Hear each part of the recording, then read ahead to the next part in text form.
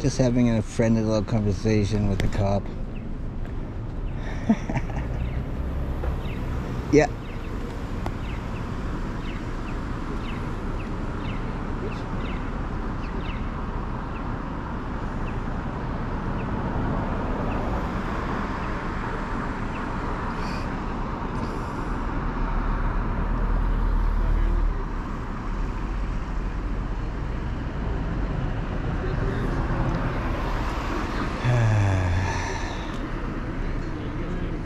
I